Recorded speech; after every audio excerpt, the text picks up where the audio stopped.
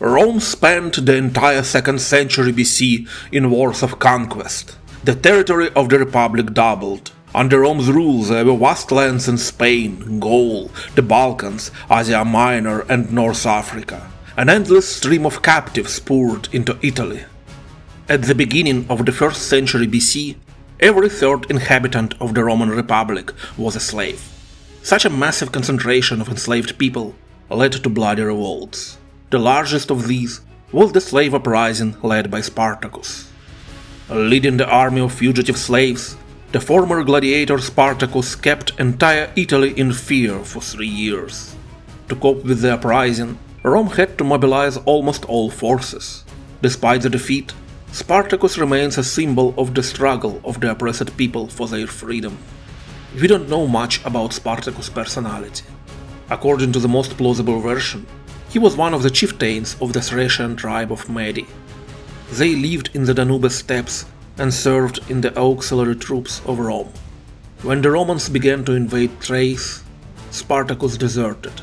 He was caught, enslaved, and then sold to a gladiatorial school. Theodor Mommsen believed that Spartacus came from the royal family of Spartakids, who ruled the Bosporan kingdom, but this is unlikely.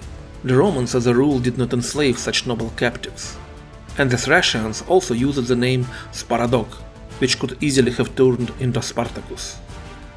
It is only known for sure that before the uprising, Spartacus was a gladiator in the school of Lentulus Batiatus in Capua, and he had a special treatment, as he had a separate room and was allowed to live with his wife.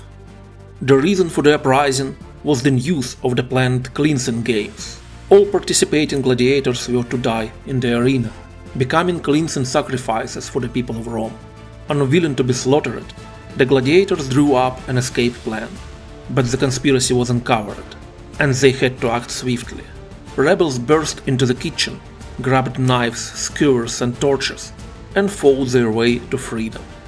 On the way out of the city, they captured a convoy, carrying gladiatorial weapons and armed themselves properly. Mount Vesuvius became the first base of the fugitive gladiators. From there they raided Roman villas and villages located nearby. During skirmishes with Roman troops, they captured even more weapons and armor. Runaway slaves from the surrounding towns and villages began to join them. Very soon their number reached a couple of thousand. Three former gladiators led the rebels, the Thracian Spartacus and two Gauls, Crixus and Oenomaus. At this time, Rome was in the middle of two wars at once. In the west, just at this time, Gnaeus Pompey was gradually finishing off Quintus Sertorius, the last remaining supporter of Gaius Marius, and in the east, Lucius Licinius Lucullus waged a brutal war against the king of the Pontus kingdom, Mithridates. In these circumstances, the Roman authorities didn't perceive this revolt of gladiators and slaves seriously. In their eyes, it was an ordinary riot. Riots like this occurred in the Roman Republic from time to time and were not unusual. The authorities viewed the rebels as a gang of robbers and looters, and didn't consider them a threat. To suppress the revolt, they sent a small army led by a praetor Gaius Claudius Glaber. It was not a legion but a militia gathered from poorly trained recruits. Glaber laid siege to the slaves' camp on Vesuvius and blocked the only known passage along which it was still possible to descend from the top of the volcano. His plan was simple wait for hunger to have its say. However, the runaway slaves managed to weave ropes from the vines that grew all over Vesuvius. Some rebels used the ropes to go down the cliff and attacked the Romans from the rear. The Glaber's army was encircled. His inexperienced soldiers panicked. They put down their weapons and tried to flee, but had little luck. Almost all of them were killed, and Glaber himself fell in the battle. But there were losses among the rebels as well. For example, one of the ringleaders of the uprising Oenomaus fell in this battle. The news of Spartacus' victory spread throughout the area. His army began to multiply. From cities, villas, and nearby villages, slaves started to flee en masse and join the Spartacus army.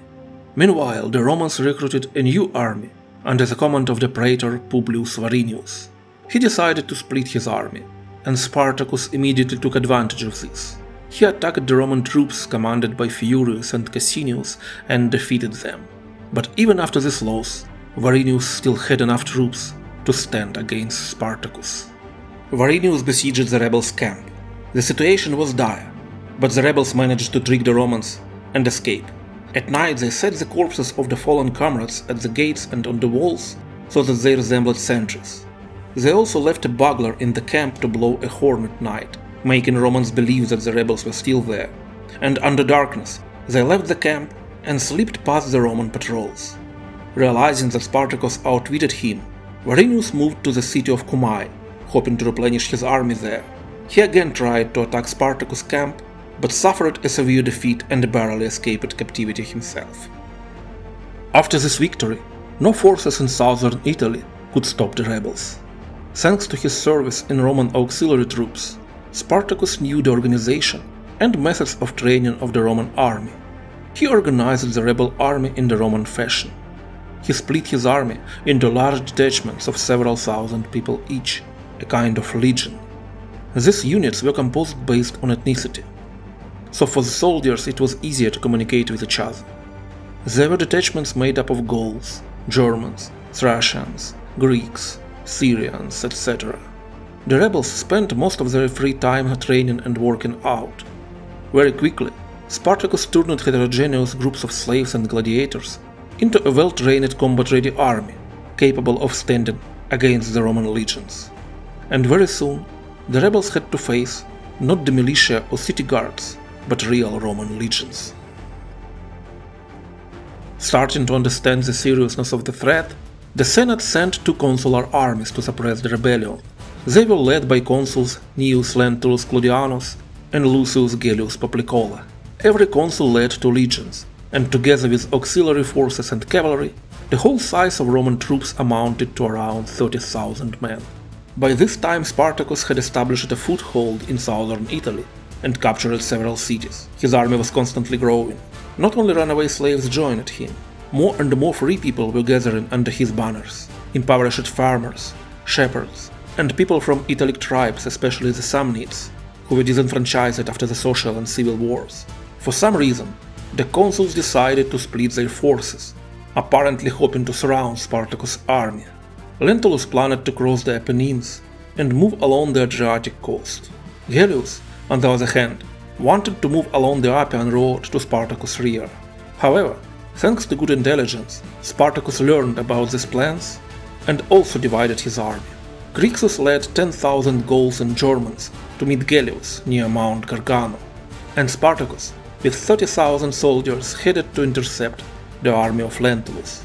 Spartacus planned to quickly defeat Lentulus and come to the aid of Crixus and thus surround the army of Gellius. The first part of Spartacus' plan worked out perfectly. He managed to intercept the army of Lentulus before he could cross the Apennines. Squads of Spartacus light infantry constantly attacked the forces of Lentulus, which stretched for almost 10 miles. Eventually, the Romans lost the ability to resist and retreated, suffering significant losses, although they avoided a complete defeat. Spartacus did not try to chase them. Instead, he immediately marched to Mount Gargano to Crixus' aid. Unfortunately, he was only a day or even a few hours late. Crixus' army was outnumbered and ultimately defeated by the Gellius legions, and Crixus himself fell in battle. Spartacus immediately attacked the Romans who were celebrating their victory, and decisively defeated them. Mourning the deceased friend, Spartacus organized unbelievable gladiatorial games at Crixus' funeral. Captive Romans had to become gladiators and fight each other. 150 pairs of captive Romans fought that day, and it was one of the greatest gladiatorial games at that time. After that, the rebels decided to move north towards the Alps, so that everyone could return to their homelands. As Spartacus' army advanced, the uprising spread to new lands. When the news of his approach reached some area, violent riots broke out. Slaves broke their chains, attacked the masters, and fled to Spartacus. Several times the Romans tried to block the advance of Spartacus' forces. Still, every time, the victory was on the side of the rebels. One notable battle was at Mutina. In that battle, Spartacus defeated an army of 10,000 led by Gaius Cassius Longinus, father of one of the future assassins of Caesar. Finally, the rebels arrived to the Alps.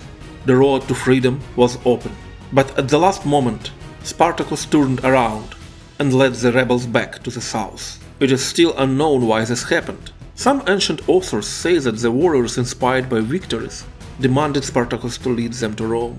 Still, most likely, this is just a reflection of the fears of the Romans themselves. According to another opinion, the rebels simply did not want to leave Italy. They wanted to continue plundering its rich lands or try to establish their own state in Sicily, where there were many enslaved people. Some scholars speculate that Spartacus wanted to join Quintus Sertorius, the rebellious Roman general in Spain. The news of Sertorius' death caused the turnaround. But regardless of the cause, Spartacus' army marched back to the south of Italy. They moved fast, and Spartacus ordered to kill all prisoners and livestock. Also during the march, he stopped accepting new fugitives into his army, so that his soldiers could go as fast as possible. He wanted to get to southern Italy's rich and fertile lands, where it was much easier to provide the army with food. In Rome, panic started to spread, comparable to the terror after the defeat at Cannae, when Hannibal was in the vicinity of Rome. The Romans united two consular armies into one and again tried to intercept Spartacus, and once again they suffered a severe defeat. Battle-hardened squads of former slaves made their way through Roman ranks like a hot knife through butter. The position of Rome was complicated because its best troops and the most experienced generals were outside of Italy. They were waging wars against supporters of Sertorius in the west and Mithridates in the east. Rome needed a skilled general who could lead the army, restore discipline, and defeat Spartacus. However, nobody was willing to take on such responsibility, until finally the wealthiest man of Rome at that time volunteered for the role, Marcus Licinius Crassus. He had unheard wealth and political influence, but he dreamed of military glory, without which, as it seemed to him, he was not respected enough in Rome. Crassus received six legions under his command and two consular legions formed from the remnants of four legions defeated by Spartacus earlier. The very first skirmish of Crassus' troops with Spartacus was unsuccessful. Crassus sent two legions under the command of Marcus Mummius for a roundabout maneuver to flank the Spartacus army and keep him in suspense, but avoid direct engagement. Mummius ignored the order and attacked Spartacus, wanting to get all the military glory for himself. The result was the brutal defeat of both legions and the loss of both legion eagles, which was an enormous disgrace. Seeing the failure of the flanking maneuver, Crassus retreated. It became clear that the morale of the Roman army was weak. First, it was shattered by a series of defeats from fugitive slaves, whom the Romans did not consider a worthy enemy. Secondly, a war against slaves promised neither rich trophies nor loot, and there were few volunteers to join the army. To restore discipline, Crassus had to take unprecedented measures he ordered the decimation of Mummius soldiers, who fled from the battlefield. Each tenth deserter was executed. Two consular legions were also decimated because they repeatedly suffered defeats from the rebels and their morale was low. Such measures made Roman soldiers fear their general more than Spartacus, which helped to restore discipline. Having restored order in the army, Crassus resumed hostilities, but for some time he avoided open confrontation. Spartacus at this time settled in the south of Italy and was actively training fresh recruits and manufacturing weapons and armor. The problem of supplying the army with weapons was so crucial that Spartacus had to ban the use of any gold and silver in his camp. Every available coin was to be spent purchasing iron and copper for the blacksmiths working day and night. Gradually, the rebels started to lose initiative. The Roman and the rebel armies met on the battlefield two times. Spartacus managed to avoid decisive defeat in both battles, and his troops retreated in order, but each time the battleground remained under Crassus' control. Under such circumstances, Spartacus decided to try to break through to Sicily. More than half the population of the island were slaves, and each one of them was a potential soldier for his army. Most recently, the island was torn apart by bloody uprisings, which Romans managed to suppress only at the cost of great efforts and losses. Besides that, even the free Sicilians were not happy under Roman rule and still remembered the times of independence. Spartacus made a deal with the Cilician pirates to help him cross the Messina Strait. Still, when his forces arrived at the coast, the pirate ships did not come. We don't know why. According to one account, Crassus bribed the pirates. Some scholars speculate that the pirates did not have ships capable of transporting masses of people. They dealt with Spartacus knowing they would not fulfill the deal. In addition, the weather could have been a cause. It was late October, and navigation in these waters was perilous. The effect was that the Spartacus army found itself locked on the shores of the Messina Strait. While Spartacus was waiting for the pirates, Crassus' soldiers dug a ditch across the entire Aegean peninsula, poured a rampart behind it, and erected a palisade on top of the ramparts. Spartacus' army got trapped. Food supplies started to run out. The first breakout attempt was unsuccessful. The rebels suffered heavy losses and retreated.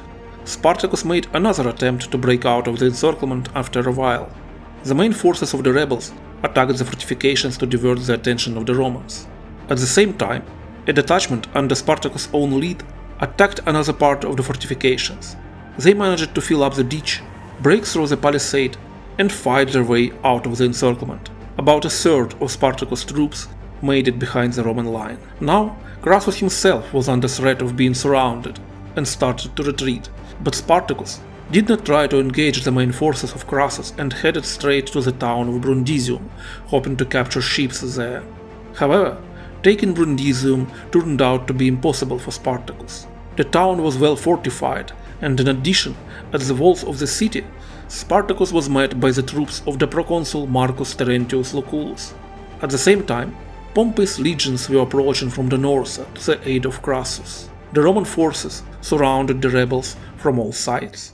First, Crassus defeated a small detachment under the command of Gannicus, and then the time came for the final stand. The troops of Spartacus and Crassus met at the Silarius River. According to Plutarch, before the battle Spartacus killed his horse, saying he would not need one in case of defeat. In case of victory, there would be plenty of good horses. Spartacus, accompanied by his best soldiers, rushed forward, trying to get to Crassus. He almost succeeded. He got very close to him and killed two centurions who served as Crassus' bodyguards, but still, Spartacus fell, slain by Roman swords. After their general fell, the rebel army could not resist the Romans and was slaughtered. However, victory was not easy for the Romans. Almost half of the Roman army remained dead on the fields by the Silarius River. A small detachment of rebels fled north, where they were met and crushed by Pompey. About 6,000 slaves and gladiators surrendered. Crassus ordered to crucify them along the Appian Road between Capua and Rome. For many years after Spartacus' death, southern Italy still had unrest. Hills, forests, and mountains gave refuge to many groups of fugitive slaves. They engaged in robbery and fighting against Romans. The memory of the Spartacus victories on and on inspired slaves to take up arms and turn them against their masters. Crassus craved military glory. For suppressing the Spartacus revolt, he expected no less than a triumph and a laurel wreath, the highest military honors of ancient Rome. But the Senate decided that the enemy in this war was unworthy. To his utter dissatisfaction, Crassus was awarded only with a lesser triumph called Ovatio and a myrtle wreath. Eighteen years later, the lust for fame and military glory would lead Crassus to Parthia, to catastrophe at Carrhae, and his demise.